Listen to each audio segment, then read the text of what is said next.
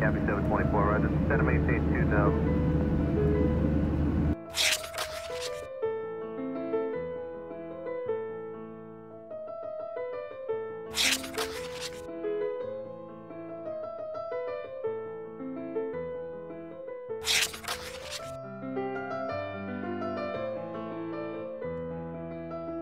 After one year flying quadcopters and being an RC enthusiast, I have accumulated a fair number of batteries, different sizes, shapes, and ratings with different chargers and connectors.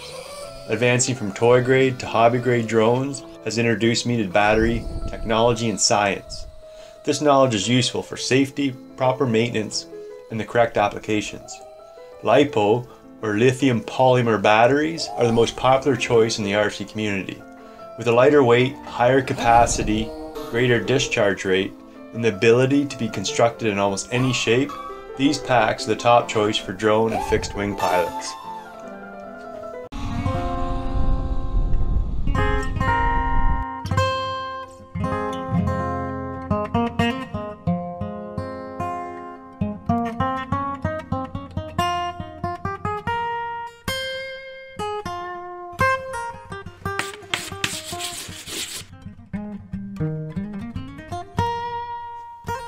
The most prevalent number on a LiPo pack is the milliamp per hour rating.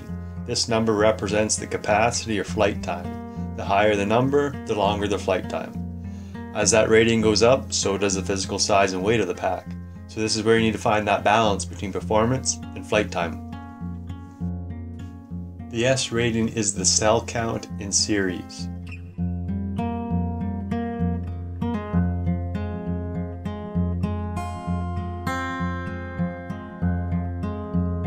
C rating represents the discharge rate in amps. Sometimes there are two numbers. The first represents the continuous rating, while the second represents a burst rating of around 10 seconds. Using the C rating times the amps, you can calculate the current draw that a battery can deliver. The voltage on the label is the nominal voltage, meaning the default or resting voltage of the pack. A LiPo cell has a nominal voltage of 3.7 volts.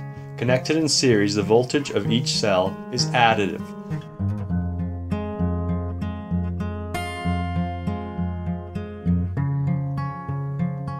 Fully charged cell has a voltage rating of 4.2 volts and a minimal voltage of 3 volts.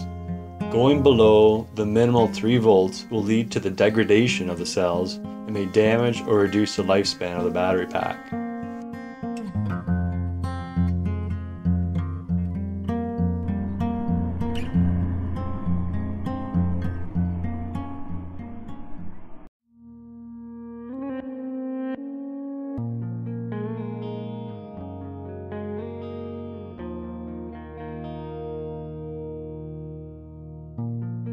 Understanding battery labels and your quadcopter RC specifications is important when upgrading or replacing batteries.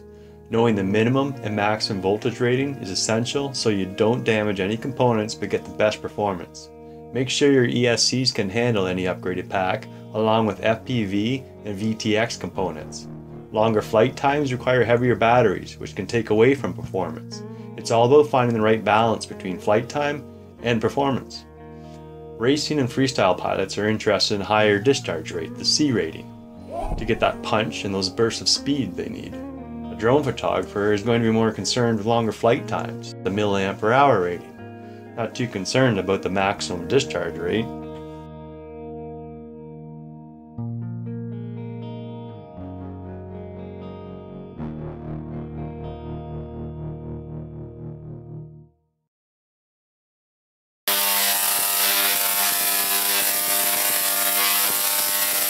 Toy grade quadcopters will always come with their own 5 volt 2 amp USB style charger, but as you progress into larger batteries with more cells, you will need to purchase a good quality balance charger.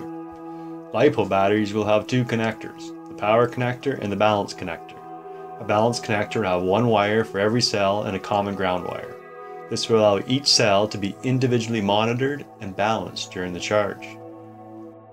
Before charging, always verify the charger is in LiPo mode the recommended charge rate is the milliamp per hour rating divided by 1000. So a 1300 milliamp per hour pack should be charged at 1.3 amps.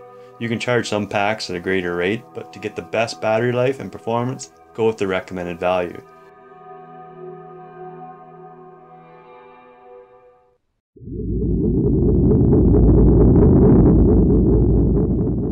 Do not store batteries fully charged or fully depleted. Proper storage voltage should be 3.8 volts per cell at room temperature. This gives the pack a good resting state. A good charger will have a storage setting on it and will safely discharge or charge the pack to the proper storage voltage. LiPo batteries don't fare well in extreme heat or cold. Extreme heat can cause bad things, and cold temperatures can damage the pack. Store in a fireproof container or at the very least a LiPo fire resistant bag.